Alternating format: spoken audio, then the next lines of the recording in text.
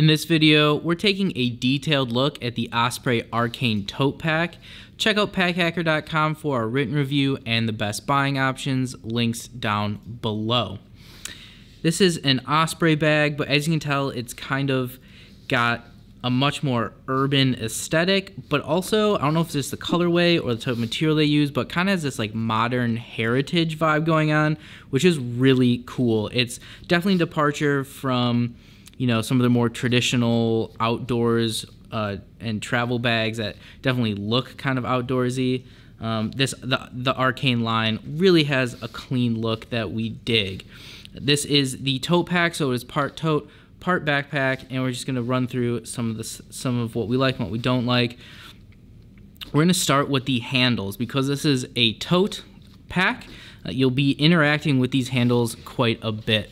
So they're pretty long. They're actually long enough that if you want to, you can just, you know, you can definitely just use them as a hand carry, which is relatively comfortable. You can also kind of like fish your arm through and put it under your shoulder and it, it's pretty tight under your armpit there but it does work if the bag's full it might be a little unwieldy to do it that way but it is an option so you know we're digging the versatile carry there there's no real padding in the handles. It, they're folded over. It's just kind of the straps folded over and sewn together. So it kind of gives a little bit of false sense of padding.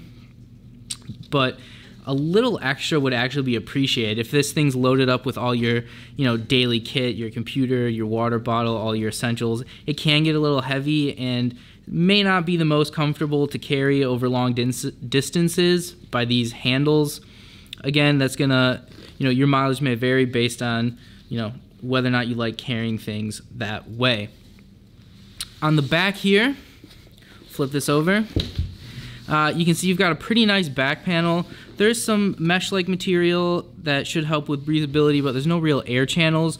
There is kind of a, a ridge pattern underneath the mesh.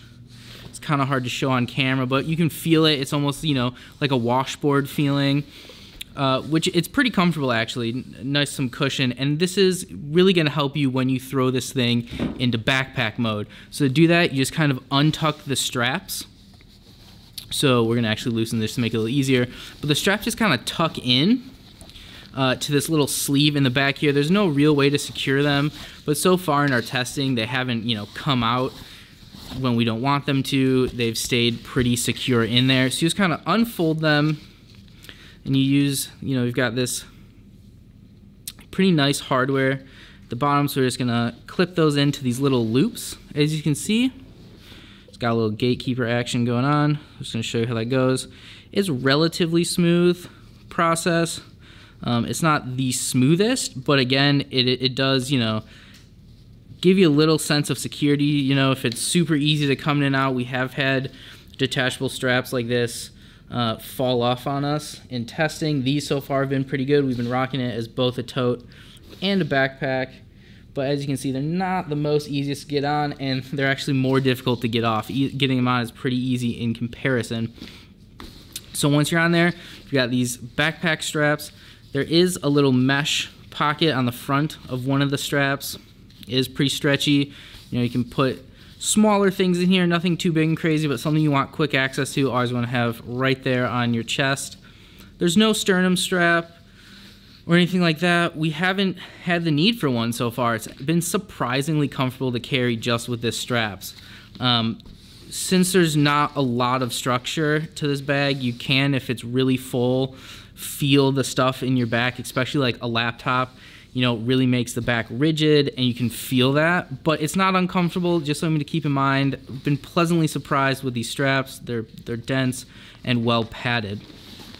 Flipping it back over to the front, uh, we've got a quick grab pocket right here.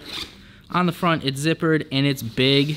You know, it takes up this whole front area of the bag. We've just been keeping, you know, small bits, little pouches, to say organized, phone charger, things like that. Stuff you might want quick access to, just throwing them in there. If you're using this as your personal item on a flight, you know, putting this under the, the plane, uh, the seat in front of you. This is a good spot to dump all of your pocket stuff when you're going through airport security. And that's it on the outside. There are no water bottle pockets, which is a bit of a bummer if you carry water bottle with you.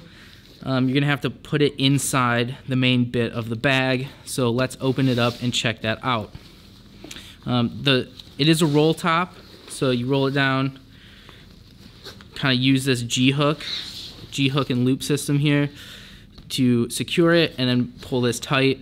Since it is a roll top, it does expand a little bit. We've actually used this on an impromptu weekend trip. You know, just gone for a couple days, decided to get out of town, and we were able to unroll it all the way, keep all of our tech stuff inside, and also, you know, throw in an, a different outfit and toiletries and be good to go. And then, so before we open up, we're just gonna talk about this stash pocket. So there is a big stash pocket. There's really no way to keep it closed other than cinching up this main closure strap. It's a good spot to just stash larger things that you may need quick access to or don't really want to put inside the bag. Maybe something like snacks, maybe something like a packable jacket or, you know, items that vary from day to day. Just keep in mind that if you put anything too bulky in here, it will cut into the main part of the pack, which could be an issue. Now the main pack uh, is closed with a zipper as well as the roll top. And if you open it up, you know, we've got some of our daily things inside just so you can kind of see how it's packed out, but it's relatively simple. So along the back here, you do have a laptop sleeve, decently padded. There is a little bit of a false bottom, which is nice. You know, it probably stops about there, which is nice. So, you know, if you drop your bag, your laptop's not taking the brunt of that. Um, and then in front of the laptop sleeve, see if I can get you in here. These top loader bags are kind of tough to see inside of.